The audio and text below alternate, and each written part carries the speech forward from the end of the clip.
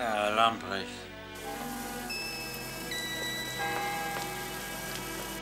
Sagen Sie, müssen Sie Ranfälle immer ausgerechnet nachts um drei kriegen? Also schön, eine Minute, aber wirklich nur eine Minute. Schöne Zustände sind das hier.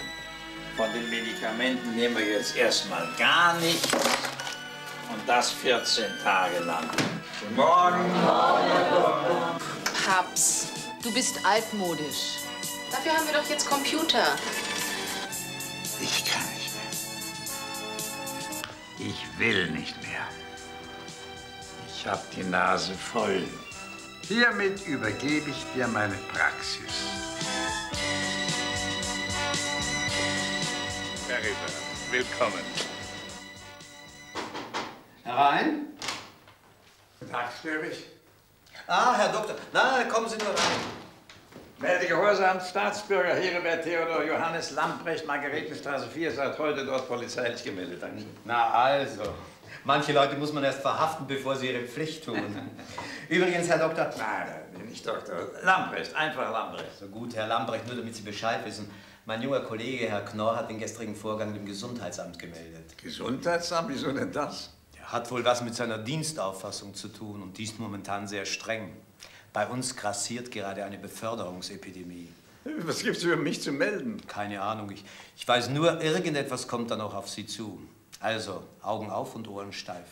Ja, dass Sie mich aufmerksam gemacht haben. Wiedersehen, Herr Kommissar. Wiedersehen. Hier, Dankeschön. ich drücke Ihnen die Daumen. Also ich am besten, Ihre Frau kommt selber vorbei. Wir werden uns das dann mal ansehen. Richte raus. Ja, auf Wiedersehen. Wiederschauen. Ja, Herr Doktor! Sie sind's doch, oder? Natürlich sind Sie Dr. Lamprecht. Hoffentlich gehen Sie schon mal vor, ja? Ich, ja, ich, ich weiß, ich weiß. Komm, komm. Sie können doch Ihren alten Patienten wiedererkennen. Kurt Kohlheller. Ihr Sorgenkind. Ach, Herr Kohlheller. Hm. Das, ja, entschuldigen Sie, dass ich Sie nicht gleich erkannt habe, aber die Augen, wissen man wird immer, immer älter. Was, wie geht's Ihnen denn? Was macht denn unser altes Gelsenheim oder wohnen Sie da nicht mehr? Doch, doch, aber ich betreue jetzt hier einen größeren Bezirk, Mittelbach-West. Ah ja, ja, Sie sind ja in der Versicherung tätig natürlich. Da kann man Ihnen ja gratulieren. Mir? Gratulieren? Na ja, da kann ich mir doch vorstellen, dass der Großstadtasphalt für Sie bekömmlicher ist. Ich meine, beruflich gesehen jedenfalls ist unser altes Gelsenheim. Naja, beruflich gesehen, äh, es mag schon sein, ja. Ah ja, Gesundheit. Wie geht's Ihnen denn so gesundheitlich? Ja, nicht so gut. Ne? Nicht so gut. Ja, Sie hatten doch irgendwas mit dem Magen, Lunge, Leber oder was war das? Lunge und Leber. Lunge und Leber, ja, ja. Mit der Milz war auch irgendwas. Und die Nieren. Und die Nieren, sehen Sie, da haben wir ja fast alles zusammen. Was, wer behandelt Sie denn jetzt? Na, die Frau Doktor. Was für eine Frau Doktor? Na, Ihre Tochter. Sie sind bei meiner Tochter in Behandlung? Na, sagen wir mal, sie untersucht mich regelmäßig. Helfen kann sie mir sowieso nicht mehr. Wenn ich gewusst hätte, dass Sie jetzt hier... Komisch. Die, die Frau Doktor sagte, Sie hätten aufgehört. Ja, ich habe aufgehört. Ja, Sie praktizieren nicht mehr? Nein, ich äh, privatisiere. Und wer sind die Leute da? Ja, das ist eine Familie mit Kindern, eine kinderreiche. Das- Ich habe die Patenschaft übernommen und es ist jetzt gekommen, um sich zu bedanken für die Geschenke. Ich, ich habe einen kleinen Affen, einen kleinen Elefanten Naja, besorgt für. dann will ich nicht länger stören. Äh, Wiedersehen. Herr Ja. Wiedersehen, Wiedersehen. Ach ja, wenn ich die Frau Doktor sehe, soll ich Sie von Ihnen grüßen? Unterstehen Sie sich. Wie bitte? Na, ich meine, Sie brauchen sie nicht extra zu grüßen. Wir äh, telefonieren fast täglich zusammen. Ja, aber es würde mir nichts ausmachen, wenn ich Sie sehe. Sie halten sich da raus, verstanden? Jawohl.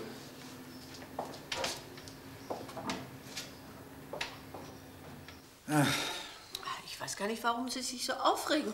Hier steht es schwarz auf weiß. Paragraph 6 Absatz 1.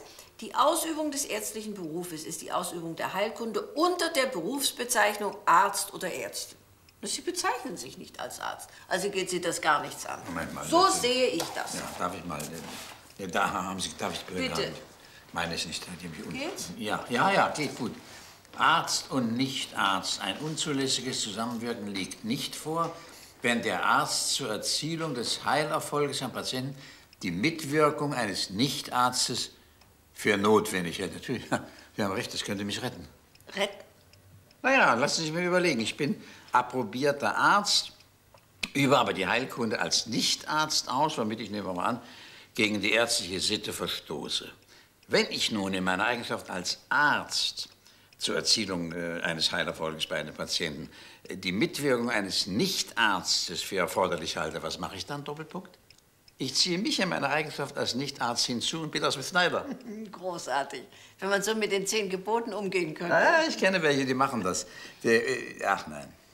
Nein, geht ja nicht. Warum nicht? Nein, ach, hören Sie.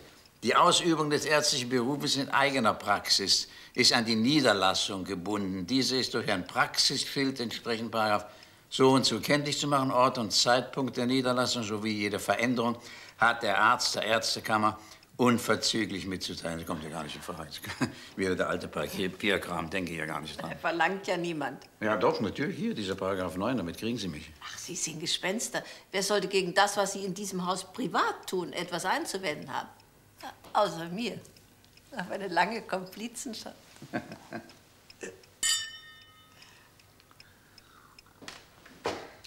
Ich nehme an, Sie kommen nicht als Patient zu mir. Wie sollte ich, wo Sie doch nicht mehr praktizieren? Eben, was verschafft mir das Vergnügen? Mein Beruf. Schöner gesagt, die Sorge, Sie könnten nicht ausreichend versichert sein. Ich bin ausreichend versichert, Herr Kohlheller. Leben, Krankheit, Unfall, Einbruch, Feuerwasser. Ja, ja, tut mir leid für Sie. Und wie steht's mit der Haftpflicht? Ausgezeichnet. Wenn mein Hund auf die Idee käme, Sie zu beißen, brauche ich mich nicht zu beunruhigen, finanziell gesehen. Ich meine auch mehr die berufliche Haftpflicht. Herr Doktor, Paragraph 8 BO. Ich bin nicht mehr beruflich tätig. Davon ist Ihr Fräulein Tochter überzeugt. Vorläufig noch. Sie hat mich übrigens für Donnerstag bestellt. Wollen Sie mir Ärger machen? Wir können die Haftung nach Paragraph 223 ausklammern, weil Sie nicht chirurgisch tätig wären, falls Sie tätig wären. Das ist prämienmäßig am günstigsten. Darf ich ein entsprechendes Angebot unterbreiten? Ich wüsste nicht, was mir lieber wäre. Sonst noch was? Ehrlich gesagt, ja, Herr Doktor. Ich äh, schlafe so schlecht seit Wochen. Ach was, seit Monaten. Können Sie mir da nicht was verschreiben? Barbital hat mir immer am besten geholfen. Barbital, nein, nein, Herr Kohlheber. Zum Einschlafen gibt es geeignetere Mittel. Die nutzen bei mir nichts. Ich brauche. ähm, Ich brauche Barbital. Schlaflosigkeit hat meistens eine bestimmte Ursache, die sich vielleicht auch auf andere Weise lösen lässt als mit Tabletten. Wenn Sie sowieso mit meiner Tochter sprechen, dann reden Sie mal mit ihr drüber. Schlimmstenfalls kann sie Ihnen ihr Barbital immer noch verschreiben. Das tut sie ja nicht. Aber Sie werden mir das verschreiben. Sie haben doch sicherlich noch einen Rezeptblock aus der Zeit, als Sie noch äh, berufstätig waren. Ich sehe mal nach. Na also, Allerdings muss ich Sie in dieser Angelegenheit um einen Gefallen bitten. Sozusagen in unserem beiderseitigen Interesse. ja? Wie Sie ganz richtig bemerkt haben, befinde ich mich, was meine derzeitige Tätigkeit betrifft, in einer etwas heiklen Situation. Das kann man wohl sagen. Ich muss Sie also bitten, mit diesem Rezept in keine andere Apotheke zu gehen, als in die Storchenapotheke und zu keinem anderen darüber zu sprechen, als mit Herrn Apotheker Maschke. Das ist ein sehr guter Freund von mir. Wir wollen doch keine Unannehmlichkeiten haben. Ich hoffe, wir verstehen uns. Wir verstehen uns. Schreiben Sie ruhig die Doppelpackung auf, äh, dann muss ich nicht so bald wiederkommen. Doppelpackung. Machen Sie aber darauf aufmerksam, dass Sie unter gar keinen Umständen mehr als eine pro Tag nehmen dürfen. Das ist ein Mittel mit Langzeitwirkung. Ich weiß Bescheid. Barbital. Danke.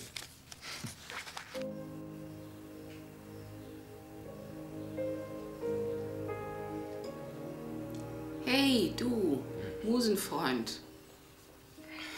Fehlt nur noch, dass du gleich schnarchst. Entschuldigung. Also noch vor einem Jahr hättest du sicher hellwach dagesessen und hättest mir zugehört. Oder hättest mir wenigstens erklärt, wie man Beethovens Otitis interna heute klinisch beurteilen würde. Ich glaube wirklich, allmählich bist du zu alt für mich. Ich bin nur müde. Also das ist doch dasselbe. Was soll ich denn da sagen? Ich hatte heute 63,5 Patienten. Wer war denn der Halbe? Noch nie was von Schweigepflicht gehört?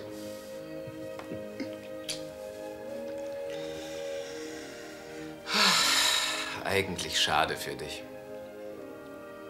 Was ist schade? Dass du. Na, weil du im Grunde eine erstklassige Praktikerin wärst. Übrigens eine der besten, die ich kenne, ganz ehrlich. Wärst? Sag mal, wovon sprichst du eigentlich? Nur von uns beiden. Ich finde es schade, dass du sie aufgeben musst. Sag mal, wen muss ich aufgeben? Na, deine Praxis. Ich soll meine Praxis aufgeben? Sag mal, spinnst du? Aber Barbara, das haben wir doch alles längst besprochen. Du hast doch selbst gesagt, wenn wir Kinder haben wollen, dann ist es jetzt höchste Zeit. Rein biologisch gesehen. Und Kinder und Praxis, das schaffst du nicht. Hast du selbst gesagt. Nicht allein, habe ich gesagt. Kinderschwester kommt nicht in Frage. In den ersten Jahren braucht ein Junge seine Mutter. Und die muss auch Zeit für ihn haben. Was du nicht sagst. Oder willst du Heribert während der Sprechstunde auf dem Rücken tragen, wie eine Eskimo-Frau? Nein, ich werde Monika nicht auf dem Rücken tragen. Ich werde sie nämlich in die Obhut ihres Vaters geben. Und ob dir die nun vorn oder hinten trägt, das ist mir ziemlich wurscht. Leider wird dieser Vater weder die eine noch die andere Tragweise ausprobieren können. Er ist nämlich Kardiologe und zufällig auch noch Oberarzt am Kreiskrankenhaus. Außerdem will er sich habilitieren. Tja, dann wird sich Monika doch einen anderen Vater aussuchen müssen. Einen, der sich nicht habilitieren will. Und Heribert? Der muss dann sehen, wie er auf die Welt kommt.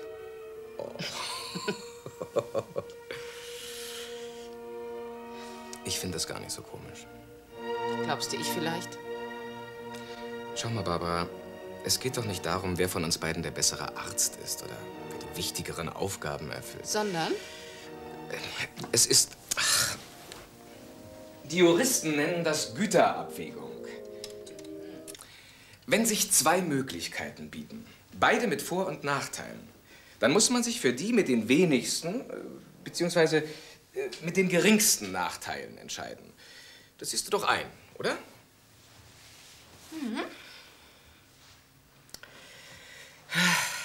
Jeder von uns beiden liebt seinen Beruf. Jeder könnte sich und den anderen ernähren.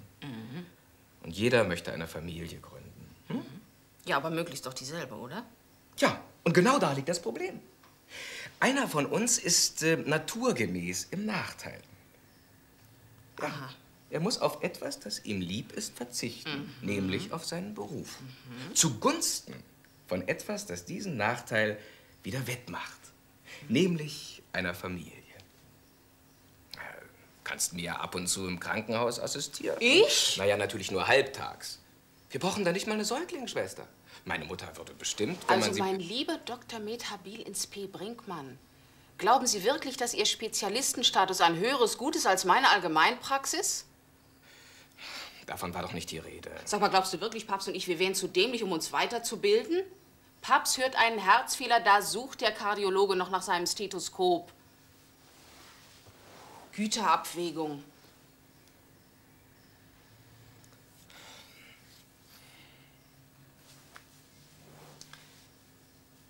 Wenn Kinder glücklich aufwachsen sollen, dann muss ein Elternteil zurückstehen. So schwer es ihm auch fällt. Das, das, das ist so eine Art Naturgesetz. Ich weiß gar nicht, warum du dich da so. Ja, bitte, dann gib doch deinen Posten auf und komm zu mir in die Praxis. Du größenwahnsinniger Fachidiot. Aber. Gar kein Aber. Wenn Sie hier bitte unterschreiben würden. Oder wollen Sie es vorher noch mal durchlesen? Nein, nein, danke. Damit wäre der Paragraph 8 BO erfüllt. Ich bedanke mich, Herr Doktor, äh, Herr Lamprecht. Diskretion ist Ehrensache, wenn ich das noch bemerken darf. Von da brauchen Sie sich überhaupt keine Sorgen zu machen. Ich mache mir keine Sorgen, Herr Kohlheller. Von mir wird niemand etwas erfahren. Weder die Ärztekammer noch Ihre Tochter. Ja, und äh, falls wir uns nicht mehr wiedersehen sollten, bitte denken Sie nicht so schlecht von mir. Ich bin kein Erpresser. Normalerweise. Warum sollten wir uns nicht wiedersehen? Ich, äh, ich, ich ziehe weg von hier. Für ganz. Ja. Dann wünsche ich Ihnen alles Gute, Herr Kohl. Ja, bitte behalten Sie doch Platz. Ich finde schon ganz allein. Ich wünsche Ihnen auch alles Gute, Herr äh, Dr. Herr Lambrecht. Frau von Breuk, der muss ich ja auch noch Adieu sagen. Wiedersehen. Du guck dir das. Gib doch ab, Junge! Abgeben! Was macht der Menschenskinder? Gib doch ab! Szene Faul! Das gibt mir schon Steigt Elfmeter. zwischen Elfmeter für Italien. 60 Du hast es doch gesehen, es war- in Führung. Paketti. Und er schießt. Es bleibt beim 0 zu 0. aber gar nicht so weit rauslaufen. Das gibt es doch nicht. Hör mal, wird heute nicht gepokert. Was ist? Auf der anderen Seite Vogt, Mensch, was Uwe Seeler, Paketti, der mit nach vorne kommt. Jetzt kommt die deutsche Mannschaft. Das ist Libuda, Libuda auf Grabowski, aber er wird abgefangen von Paketti. Ja, nachher, nachher. Setz dich doch mal hin. Doch ein klares Foul war das! Sagt der Mann, heißt hier nicht die Vorteil deutsche gelten? Mannschaft Ich nutzt sehe keinen ihn. Jawohl, und jetzt, nach. Tor! Und jetzt ist der Ball doch im Tor. Das Und was entscheidet der Schiedsrichter jetzt? Abseits. Er gibt diesen. Treffer nicht. Er doch entscheidet auf Abseits. Auf Abseits völlig unverständlich. Das ist ein Franzose, der brauchst du gar nicht so wissen. Der Rumäne, Es gibt einen. Eckball. In dieser Situation. Ja, das ist immer ein Eckball. Nun, aufregend ist diese Partie sicherlich. Und die Zuschauer wissen überhaupt nicht, was sie Nein, im Leben war das ein Eckball. sondern Sondern war, weiß ich nicht, sondern. Im, äh, aus der Mitte mehr. So, jedenfalls am, am Tor. wir wollen sehen, äh, ob die Kopfballstarken Was? Abwehrspieler jetzt wieder Ich gehe mal telefonieren. Ja, ist auch besser. Draußen ist noch groß. Bayern wird auf der. Jetzt schaltet das einfach nicht was an, Mensch. Jetzt schaltet mal diesen Pfeifenzettel an. Der soll im Kirchenturm oder singen. Aber Am Tor vorbei. Die deutsche Mannschaft. was ist das? Ein Franzose? Das sagt wohl alles. Das ist wiederum Beckenbauer. Ja, vor! Ja! Warten!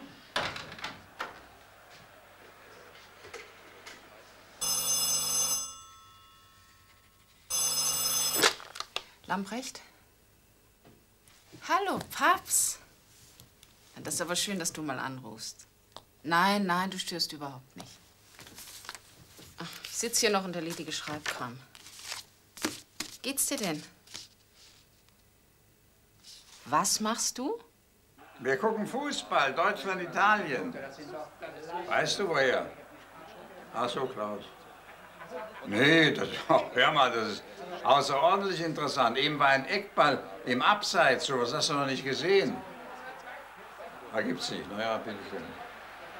Du, äh, hör mal, ich habe heute zufällig den Kohlheller getroffen. Naja, hat er mir gesagt, der, der, der war so merkwürdig, hatte irgendwas Ernstes. Ich meine, das könnte ja sein. Aber Papst Kohlheller ist ein super Hypochonder, das weißt du doch selber. Dem fehlt nichts, rein gar nichts. Klaus hat ihn erst letztens in der Klinik durchgescheckt, wirklich. Na, vielleicht hat er eine leichte Gastritis. Verkorkster Magen wäre treffender. Mir? Ach, so wie üblich. Mhm. Sag mal, Papst, können wir uns denn nicht mal wieder sehen? Ich kann dich im Moment schwer verstehen. Was sagst du? Hallo, bist du noch da? Ja. ja, alles okay. Ja. Nacht, Paps. Oh, ist dieses Spiel doch noch dramatisch geworden jetzt in der Verlängerung. Und die Italiener, sie lassen nicht locker. Sie kommen immer wieder. Das ist Facchetti. Facchetti auf Rosato. Und die deutsche Mannschaft Ja, bitte. den Ball aus der Gefahr. Na, die Frau, hoffentlich störe ich nicht allzu sehr. Doch. Ja, so, dann gehe ich wieder. Ich komme anders mal. Das ja Nein, nein, reden Sie nicht. Kommen Sie rein. Setzen Sie sich. Es muss sowieso gleich aus sein. Der Schiedsrichter lässt nur nachspielen. Wiederum die Italiener von der rechten Seite. Rosato mit Burgrisch, der nach vorne geht. Und jetzt die Möglichkeit für die Italiener. Das war doch unser Tor. Ja, eben. Wunderbares Tor. 1 zu 0, eine Sekunde vor Ein dem Ergebnis, Schlusspfiff. Das hätte ich nicht erwartet. Ja, unsere Jungs sind schon großartig. Was, da kann einer sagen, was er will. Herr Lamprecht, die Italiener haben doch das Tor geschossen. Ah, ich, ich, ich, na, wie schön für Sie da. Wird sich aber mein Erzengel sehr freuen. Wer? Ah, Cancelo, das ist ein Bekannter von mir, der heißt so. Ich hoffe, Ihr Besuch hat keinen unerfreulichen Grund und machen sich immer noch Sorgen über diese Paragraphen. Ich hole Ihnen ein Glas. Sie meinen wegen der Bundesärzteordnung? Nein, nein, das längst nicht mehr. Das ist alles überstanden. Übrigens, ich wusste gar nicht, dass wir einen gemeinsamen Bekannten haben. So? Wen denn? Herr Kohlheller. Ach, Kurt. Mein Gott, der arme Junge. Sie kennen ihn näher? Aber ja, er ist der Sohn einer verstorbenen Pensionatsfreundin von mir. Äh, Ich kenne ihn schon, da war er noch ganz klein. Hat's nicht leicht gehabt im Leben. Zuerst mit dem Beruf, er äh, Versicherungsvertreter. Und dann das. Wieso das? Seine Krankheit. Prost. Was für eine Krankheit Ich hat wollte schon mit Ihnen drüber sprechen. Irgendwas mit dem Magen, jedenfalls ist sie unheilbar. Äh, Er war heute hier und hat äh, immer gesprochen, ich wäre seine Lieblingstante. Er nennt mich Tante Franzi. Ich muss sofort zu ihm. Wo wohnt er? Ah, In Allersberg. Wo ist das? Ganz am anderen Ende. Aber ich habe seine Adresse. Nein, nein, stellen Sie bitte erst ein Taxi. Ein Taxi? Das kostet viel zu viel. Nein, nein, ich fahre Sie. Sie fahren Auto? Oh doch, ab und zu. Man muss in der Übung bleiben. Nicht so schnell. Ich denke, Sie haben es eilig. Eben drum. Ah, das komische Auto hätte ich fast übersehen. Das war kein Auto, das waren zwei Radfahrer. Ja, drum. Die vielen Lichter blenden einen so, dass man überhaupt nichts sehen kann. Woran liegt das bloß?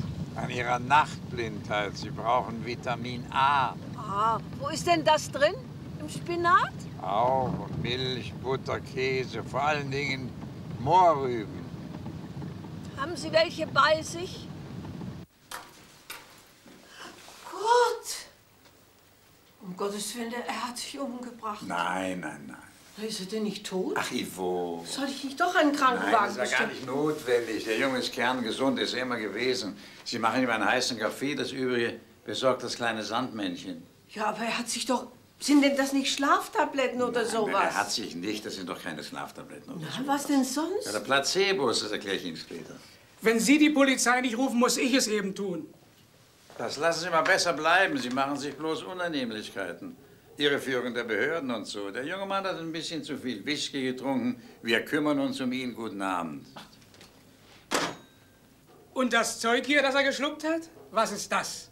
Zucker vielleicht? Sehr richtig, Milchzucker. Ihr glaubt wohl, ihr könnt mich hier zu eurem Affen machen. Das kommt mir langsam verdächtig vor. Wer sind Sie denn überhaupt? Mein Name ist Lamprecht und Sie? Unwichtig. Können Sie sich ausweisen? Natürlich kann ich mich ausweisen. Jeder Bürger kann sich ausweisen, nicht? Danke. Oh. Herr Doktor. Sie werden entschuldigen, Herr Doktor. Ich dachte nur, weil die Hausverwaltung. Na ja, schon Dann gut, darf ich mich gut. jetzt also. Schon gut, Herr Ja, Unwichtig. Entschuldigung. Wie gut, dass Sie ihn diesmal bei sich Ja, reiner Zufall. Oh, er kommt zu sich. Äh, Kurt! Dummer Junge, was machst du denn für einen Blödsinn? Hm? Der Franz. Ja, danke. Herr Doktor, ich bin. Du bist ein Idiot. Aber kerngesund. Gute Nacht und schlafen Sie trotzdem gut.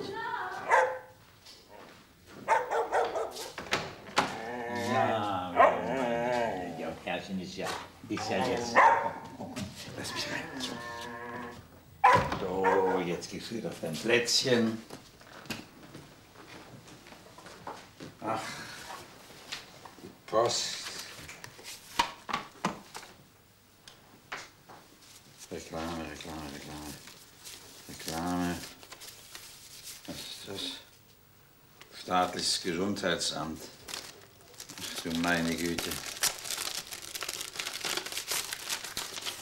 Verehrter Herr Lamprecht, müssen wir Sie bitten, zweiter Stock, Zimmer 214, einzufinden. 12.04., das ist ja, das ist ja übermorgen. Hypo. Das ist dieser Paragraph, Paragraph 10 oder 1 oder so. Jedenfalls, Junge, halt mir die Daumen.